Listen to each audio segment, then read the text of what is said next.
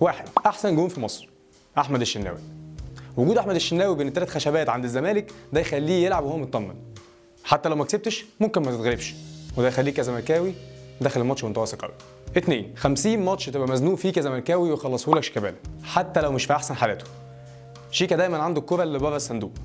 عنده الكرة اللي مش هتيجي في دماغك ولا في دماغ المنافس إنه يعملها. ثلاثة كهربا. أحسن لعيب في مصر حتى هو في أسوأ حالاته. كهربا يقدر يخلص ماتش زي ده بكورة واحدة بس. لعيب واثق من نفسه جدا وواثق من نفسه لدرجة أكبر حتى من إمكانياته. أربعة كونك متفوق بقلبين الدفاع بتوعك على كل قلبين الدفاع بتوعك كل الفرق المنافسة اللي ضدك في الدوري من السنة اللي فاتت لحد دلوقتي نقطة قوة ملهاش حل.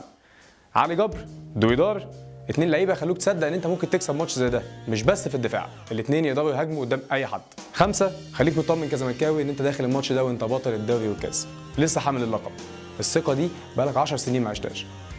حلو قوي إنك تخش ماتش زي ده وأنت حامل اللقب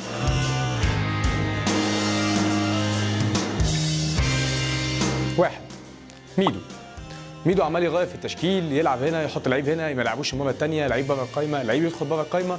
في كل الحالات الزملكاوية خايفين من ميدو. اثنين طارق حامد.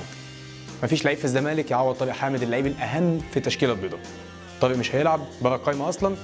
الزمالك عمال يفكر بقاله كتير هيعوض طارق إزاي. ثلاثة حمادة طلبة. لعيب ما ينفعش تصدقه وتثق فيه يوم واحد بس.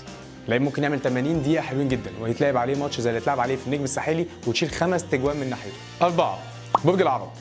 ملعب الزمالك بيكرهه. مرتضى منصور قال إن الزمالك مش هيكسب هناك والأهلاوية ماسكين في الملعب جدا.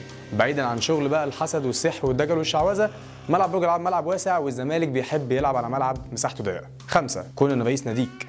بالشخصيه دي بيعمل ضغط عليك؟ ممكن اللعيبة تفقد تركيزها مع أول دقيقة عشان خايفين من الغلط.